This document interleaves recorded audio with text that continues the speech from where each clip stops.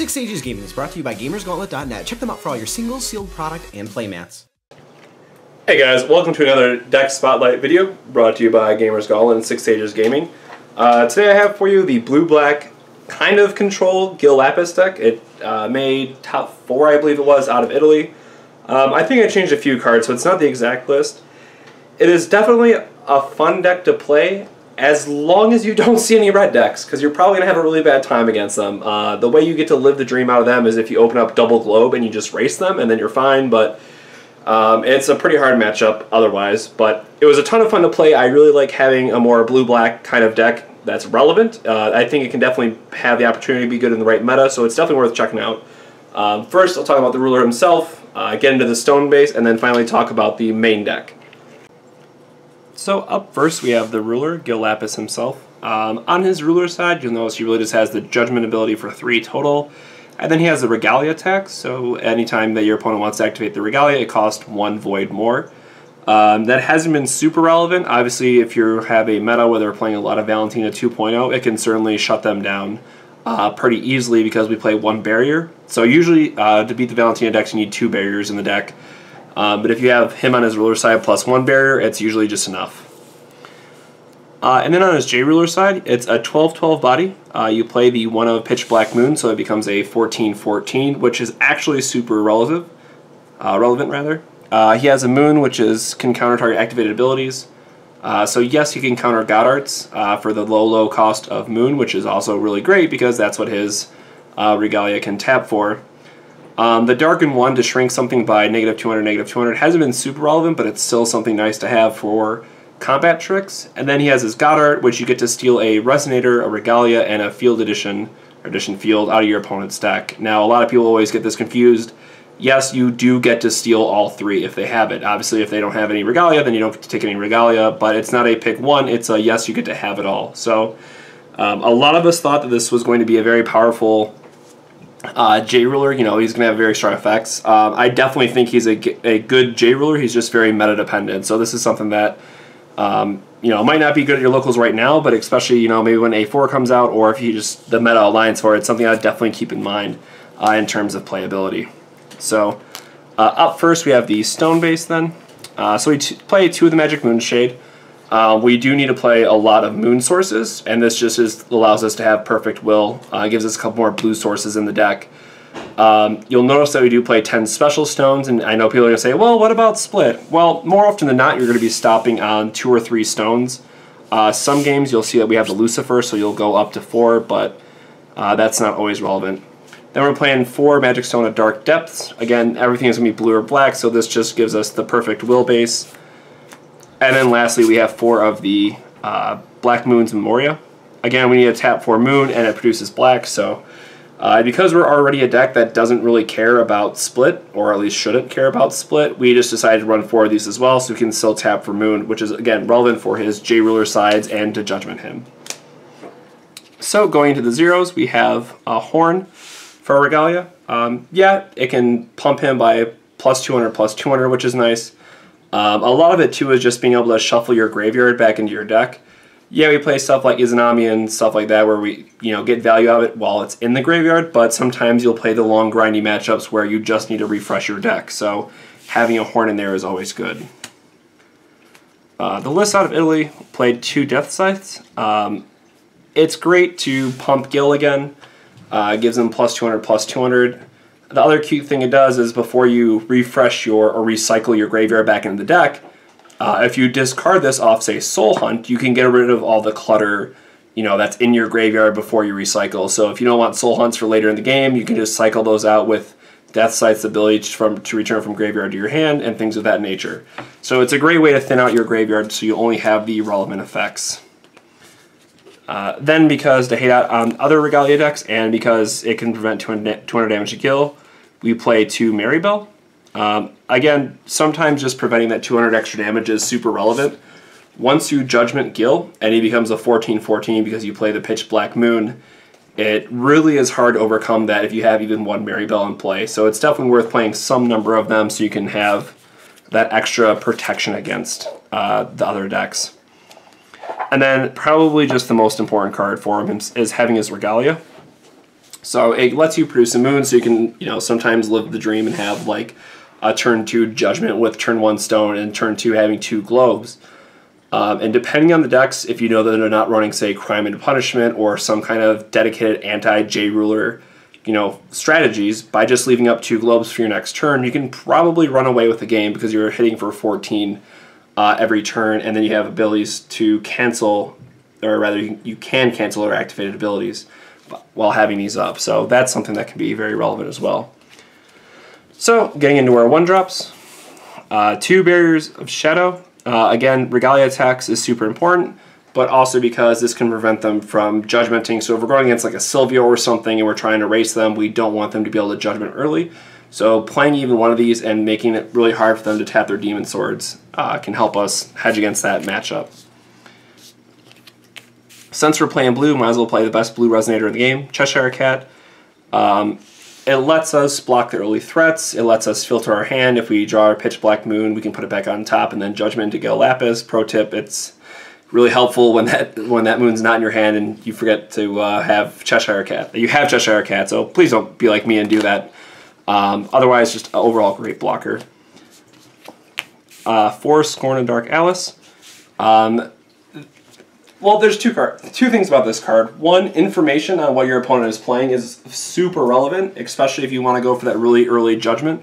You want to see what's in their hand and see how their next couple turns are going to play out. And also, if you're going against, say, Alice's World, if you hit their Quiber with this, or depending on what the board state's like, and if you hit their, you know, Morgiana or something, uh, there is a lot of value you can generate off playing these. So the deck did play four because you just always, always, always want to see it early enough. Uh, a card that's been testing out pretty great for a lot of people has been Soul Hunt. Um, because this deck gets to play things like Death Scythe and Izanami and other cards that get value out of the graveyard, this is probably one of the best Soul Hunt based decks that I've seen. Uh, Space Time Anomaly is another great card to play where you can get value out of the graveyard. So there's always going to be something in your hand that's worth discarding, and then you know you're making your opponent discard a card they might otherwise not want to have or they might want to have, and then you can you know make that uh, life a lot harder on Alice World players. Uh, going into our two drops, we have the one of Pitch Black Moon. Uh, this is great because it lets you cycle your resonators that you don't really care for. You can discard a resonator, get a target resonator from your graveyard back, and again, it bumps Gill by 200 200, which can be extremely, extremely relevant uh, in certain matchups. Um, two Spiral of Despair. This card is basically just a lifesaver. If you're on the play and you get to resolve this against a red deck, you're going to be feeling pretty great. You know, that's effectively, depending on what they discard, I've seen this card uh, gain any... This card basically says your opponent loses two cards and you gain a thousand life. Uh, a lot of it is thinking about your effective life total. If they discard, let's say, a Purifying Fire and a Landslot or something, and if you didn't have the answer for that Landslot on the next turn, that's uh, effectively increasing your life total and helping you last a little bit longer in that matchup. Uh, two Stoning Death, uh, just great instant speed removal. Uh, two Dark, which thankfully all, all our stones can tap for Dark, so we're always going to have it.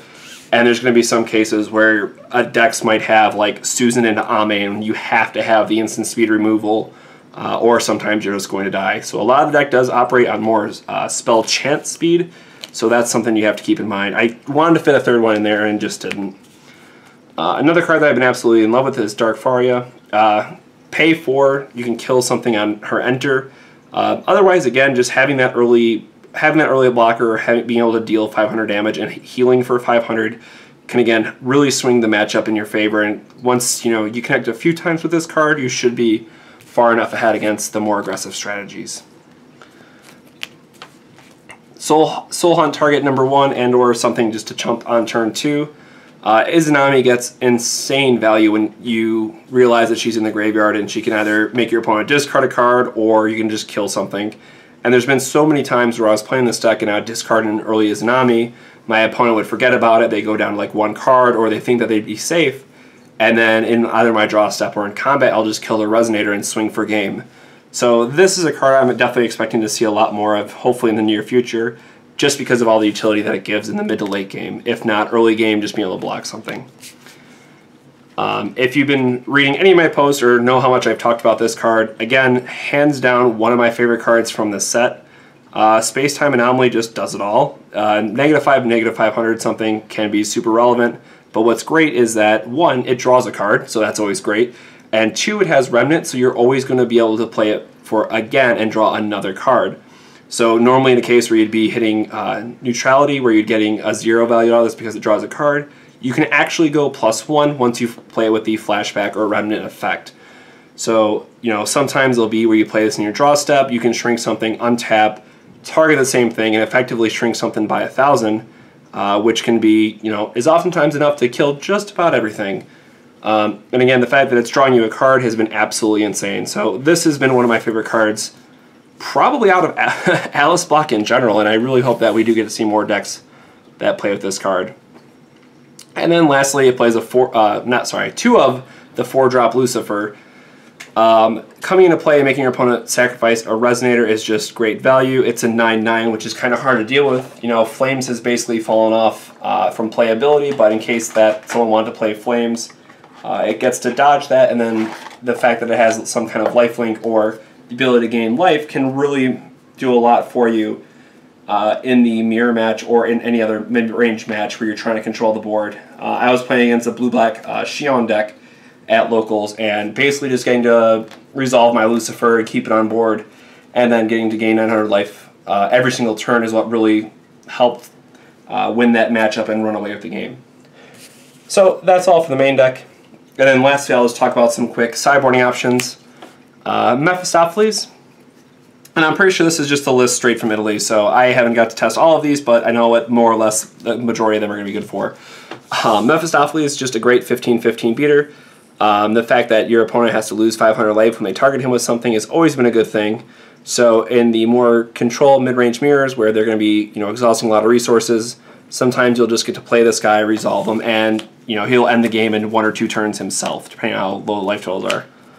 Uh, one of Glimpse, uh, just countering activated abilities is great. If you don't have him on his J side and just need to counter an early God Art or any kind of activation for that matter, if you want to stop, reflect, or sorry, refrain from tutoring for something, that's great too. And again, it draws a card, so it's a great way to get value back in your favor. Uh, the sideboard had two Awakening at the end. Uh, maybe they have a lot of Fairy players. Um, not a lot of people play Swarm decks, at least in the United States that I've been seeing, so this is definitely more of a techie option. Um, still a great card just to keep in mind in general in case you're seeing like a lot of fairy decks at your locals. Um, it played a Schrodinger's cat, but that also played a Dark Alice out of the sideboard. I think this is just for another strategy where if your opponent is very graveyard heavy, uh, Dark Alice can eat cards out of their graveyard, for example, like the Necromancy Rush deck. And then, of course, you want to be playing some number of Schrodinger's uh, cats just because it can make Dark Alice bigger. It combos with her God Art, and it's a free uh, will producing source once you use her God Art. Um, one of Recollection of Dystopia, uh, I think I actually added this one in as just another Edict effect, and because we're already playing Dark Alice, it does combo with her God Art as well. Um, and I think it's just a beautiful card, so I was biased in putting it in there, but I did. And then lastly, just for more Regalia hate, we have some number of Hera. We had three in the sideboard, um, strictly because a lot of people are still running zero cost Regalia, so it's still a 5-5 body and it's going to draw you a card. And then lastly, I had these in the place of the stonings and I ended up putting the stonings back in. Uh, Space-Time Collapse, just being able to destroy a Resonator and Regalia, uh, can do a lot in certain matchups. So I think this is definitely a card. Uh, if I was going to switch around the deck a little bit more, I'd probably run a 2-2 mix of Stoning and Space-Time Collapse. But that, more or less, is the Gill deck. Uh, I definitely hope you guys will try it out your locals. Um, it's something new, and I think that's always going to be the most refreshing thing that Italy always has for us. They give us these new lists to try, so make sure you guys test out your lo locals. Let us know what worked out for you, what didn't work out for you, what kind of changes that you would make. Um, again, I think that the Space Time Collapses should probably be main deck again, uh, just because they're being able to two for one your opponent is always, always, always such a win. So, thanks again, guys, for watching. Uh, shout out again to Gamers Gauntlet for all your TCG needs. Um, make sure to like, comment, subscribe to the channel for more future Forceful content, and we'll see you guys on the next Deck Spotlight brought to you by Six Sages Gaming. Have a good one. Thank you so much for watching.